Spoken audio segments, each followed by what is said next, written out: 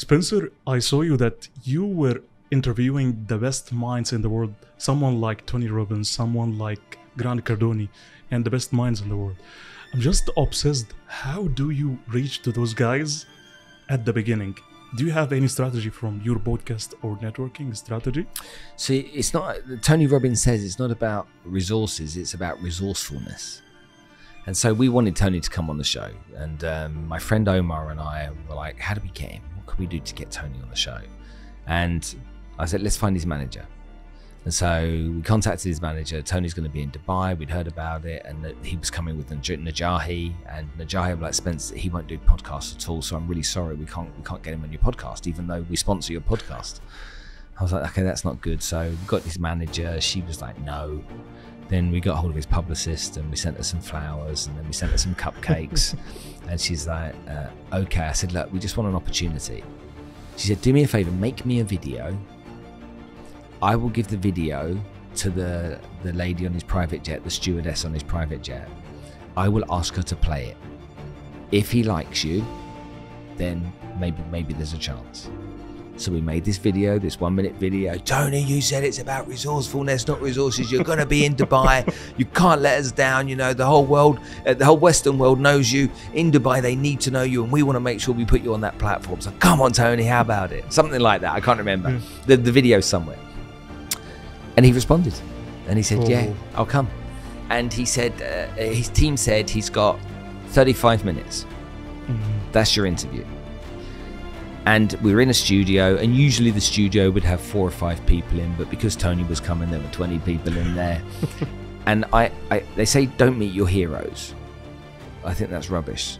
I met my hero that day, and he was incredible. After the interview, he sat there on the edge of the little stage in the studio, and he spoke one to one with everyone. Did videos, did photos, um, did little lives. He did a- anything anybody wanted. He was happy to do, and it was beautiful to watch.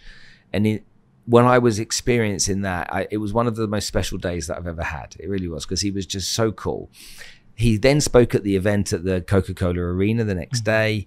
Uh, I went down to the stage, came over, gave me a hug, and it was just like in front of 10,000 people. I'm just like, it was just wonderful. And that, that's how he came on. We leveraged um, that relationship to get some other guests on there. And once you start to get some bigger names on there, you can then utilize that. And again, for me at that time, the podcast was all about personal development. It was the first year, 18 months was personal development focused. And so we wanted to get everybody that was in that space from Gary Vaynerchuk, Grant Cardone, um, Nick Vujicic, uh, Marissa Peer, um, all of the people that were in that kind of world of personal development, um, we wanted on the show, and we were able to do that. You know that you are one of the biggest reasons that you inspired me to start this podcast. You remember when we were in Najahi and you were in the stage? And I got inspired by the speech that you have done for the, the podcast itself. And I'm still insisting to let our audience know what could be the benefit of any podcast that they can start and what, what, what can help them if they can start their podcast. It's just, it's, I, I've, I, I don't get why people don't get it. For me, it's just like, why don't you get this stuff, people? So if you have a podcast, you know, a lot, a lot of time people are, I don't have an audience, I can't, I don't have the facility, I don't have the space, uh, I don't have the technology. And what we're sitting in here with you that have built this podcast studio yourself, and and and I'm telling, going to tell you right now, this is this is the example of action. You took the action. You've paid for all of this equipment that's out here, lights, all this stuff that's going on. You've rented this space, I'm sure. You've spent money and you, you've put your money where your mouth is. You took action. You've had to learn some new skills so that you can work the cameras and all that kind of stuff and the microphones. And that's what 99.999% of people that want a podcast will not do. That's just a fact. Now, does your podcast need a big audience? It does not, depending on what you do whatever your business is, whatever. So let's say you and I are hypnotists. Okay, we do hypnotherapy and we help people get over smoking or that, whatever it may be. Mm. Yeah, that, that's what we do. That's our business. This is the best prospecting tool in the world. So let's imagine we're hypnotists and we bring in the CEO or the CEOs of the biggest companies in Dubai. And we have a one-to-one conversation where they tell their story and they inspire our audience with their story their struggles their journey how they became successful. And then we talk to them about the benefits of hypnotism as a corporate wellness tool in their company. That's part of the conversation. Don't sell them anything. Mm. we're just talking about it. That podcast then takes place Two weeks later, we phone that guy up and say, Hey, we'd love to buy you a coffee. We've got a couple of ideas we think might help you. Mm-hmm. He's going to have a coffee with you because he's been on your podcast. You bonded, yeah? So he'll have that coffee. Mm-hmm. You go for the coffee and you say, Look, I think we can help your company. I don't know how. Who's in charge of making these types of decisions? Now, let's say he says, It's Fatima in charge of HR. Let's say he says that. Mm-hmm. Go talk to Fatima he gives us Fatima's number. We call Fatima. Fatima, your CEO has told us we need to come and see you. Is she going to say no? She's not going to say no, is she? She's going to say yes. So she says, yes, come see me. We go see her. Look, we've been chatting to your CEO. We're really good friends. We've got this solution that can help your staff with staff retention or mind, um, well, wellness or, or mindful, mindfulness or something. Yeah. What we'd like to do is incorporate it into the business. And we don't know how yet. And what we'd love to do is trial it and see if we can make it work for your people. So, is that something you'd be interested in exploring? You're in the middle of a sale, but you've got the CEO that's told her to talk to you. So, if she makes a decision, he's already told her to talk to you. Now, that's that's a client. All because the CEO came on the podcast and you talked about that subject. And and your podcast could be about anything. There's a lady I help I helped do a podcast recently. Um, she's a beautiful human being. Uh, I'm not going to give you a name because I need to respect her. Beautiful human being who's had some challenges with weight over the years. So she was slim, she put weight on, she had some surgery, she lost the weight, she put it on, and and she wanted to run a podcast on eating disorders. And you know what? It was interesting because my initial reaction was eating disorders was people getting fat. But she educated me. She said eating disorders don't affect people that just get fat. They affect people that don't eat at all, that lose weight, that have um, um, fear with food. This because it affects so many people. I said, okay, before you do it, go and ask your friends. So I want you to go and survey 25 friends and say, I'm going to do a podcast on this subject. What do you think? And she went out and did that. She goes, I can't believe the response. Everyone said it'd be really interesting. So now you've got a lady that's that's gone through these challenges. You think about that network of people she's going to mm-hmm. build, if for no other reason to help support her on her journey.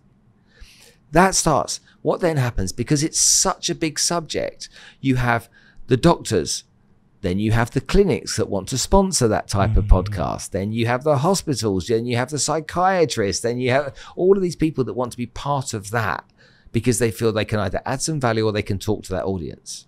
That is a guaranteed money spinner. But like every business, it doesn't happen like that. It takes time, effort, energy, patience, dedication, perseverance, consistency to be able to turn that idea into a podcast, into a business. Question. Um, what could be the conversion rate in inside the podcast? Let's say that I have 10 prospects in case uh, Mhm. quality prospects. What could be the, the conversion rate in that case if I nourish my relationship? Okay, so let's let's talk about another industry. Let's take financial advice. Okay. Okay. So you invite 10 CEOs on your podcast and you talk financial advice and their journey with finance, their relationship with money, and how they became successful, what they invest in, that kind of stuff. Yeah. Every one of those people will sit down and have a coffee with you afterwards. When you tell them about how well the podcast went, they'll have a coffee with you and maybe they'll become a client. But more importantly, they'll refer you to their staff. Mm. And again, it's the same thing. If the CEO refers us to John, who's the CMO, let's say, and you call John, John, your chairman's told me to get in touch with you. This is what we do for him. We'd love to talk to you about that. Then you've got a whole new audience of, uh, sorry, a whole new prospect list of mm-hmm, clients. Mm-hmm. So the conversion from 10 guests could be 100, could be 50, could be. Mm-hmm. Now, that depends on some other things, you know, what your skills are like, how good your podcast is, how how well you did it, how good you are as a financial advisor, and so on and so forth. So there's there's lots of aspects to it. But if you beat on your craft and you focus on being the best you can be, your best version in every part of what you do, then what then happens is luck comes your way. It just it's impossible not to get it. Wins come your way because wins always go to the persistent. They go to the consistent. They go to the people with systems and processes. They go to the positive energy people, the hardworking people. They always do. Okay. All of the people that fail in life, they never get luck. But they fail not because they're failures, they fail because they don't try. Or they tell themselves a story as to why they can't have something. And they sell themselves on that. Oh, they're brilliant salespeople at selling themselves on why they shouldn't have something. And then they're terrible salespeople in their mind at selling others with the whole inspiration that you give if someone of the audience he or she wants to start like a podcast from scratch mm-hmm. what could be the baby steps that you can give it to them right now why are you so asking me start? why don't you tell them you've started a podcast from scratch recently yeah, yeah? You, you, give me yes this when did you start I started actually. Uh, I had it like uh, live broadcasting, streaming before, but you inspired me to start like a physical podcast like this. Okay. Uh, I'm just if I if I can give an advice right now, I can give like it's all about you know I can have my mobile. Just I don't need to have fancy even cameras because some people that they have financial constraints. Mm-hmm. I could have one mobile, mm-hmm. one tripod, mm-hmm. and I have small mics mm-hmm. which will cost you nothing. Mm-hmm. And what I will do, the only resource that I will have is the time and the content bringing people into my podcast. Mm-hmm. This is what I can do. The interesting thing with that is that you don't actually need cameras because a lot of people listen to podcasts as opposed to watch. It's it's almost a luxury to film it too. but it is, you know, because you can do on your social media, you can do sound waves mm-hmm. that, that essentially are videos that pop up. They're sound wave videos, and then people can hear the audio. You put subtitles across the sound waves, people can read so you don't actually need, you can use Anchor, which is Anchor an app on your thing. That's an easy one there. Get Anchor, get the microphone that's got the splitter. Mm-hmm. Okay, plugs into you, plugs into me. Okay, cable plugged into your phone. You actually could sit there. A great place to do a podcast is your car. Sound. Mm. Acoustics are really good in the car. When you're parked in a car, the acoustics are really good. And so, is it, is yeah, yeah, yeah, like they're really good. Mm. And so of course you can film it you can get a couple of gopros and whatnot but you don't don't need to. Mm. you could literally put you could sit in the back of a car together mm. the armrest that comes down put the put the phone there the anchor app there have the microphone clipped to each of you and you can have a conversation. And there is your podcast. It's an inspiring one. It's as easy as that and so, of course, once we get going, we have kind of grander plans and we want it to be bigger and better and, you know, lights and cameras and action. Mm-hmm. But it doesn't, doesn't need to start there. It's a conversation between two or more people, sometimes actually one person. And that conversation is for other people to find value in it. Spencer, I do appreciate your time. Really, you inspired me the second time. You inspired me the first time to do this podcast, and um, I wish you all the best. Keep inspiring millions of people. You impacted my life, and I wish you all the best in your life and your business. And hope you that we can meet again. Thank you so much. It's, can I say something before sure, we finish? Sure. Okay, before I, I, I need I need your audience to know. Okay, you you you've done something special here and you need to, and you need to be recognized for that. And I mean that really mm-hmm. seriously. Okay, I know it's hard to take compliments sometimes, but you've done something really special because you've taken some action. and You developed this, and you're you're an intelligent guy, and you're going to grow this out to be what you want it to be. My advice is never stop. Okay, and if I can help you in any way with your podcast or podcast guests then all you have to do is ask because I'll gladly make introductions for you because you've done what, as I said earlier, 99.9% of people won't do. And for that, I take my hat off. Thank you so much. Thank you, Spencer. Thank you. My Thank pleasure. You. Thank you.